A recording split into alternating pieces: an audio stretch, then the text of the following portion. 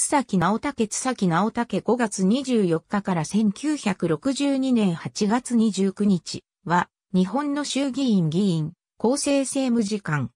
鹿児島県大隅郡省ねじめ村に、下村直論の三男として生まれ津崎家の養子となった。鹿児島県立第一鹿児島中学校、第七高等学校を卒業し、東京帝国大学法科大学政治科に入学した。1909年に卒業し、高等文官試験に合格した。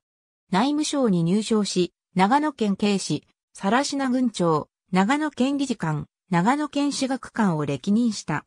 1915年、官を辞して渡米し、ニューヨーク土地建物株式会社で勤務した。翌年帰国し、東亜産業株式会社などの取締役を務めた。1920年、第14回衆議院議員総選挙に出馬し、当選。第21回に至るまで7回当選を果たした。その間に、平沼内閣で厚生政務次官を務めた。戦後、大西翼3回の推薦議員のため公職追放となり、1951年追放解除。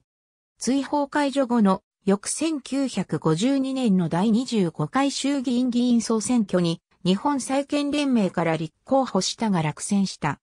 その他、海外協会中央会副会長、満州移住協会理事、海外同胞中央会理事、大東亜親善協会副会長などを務めた。ありがとうございます。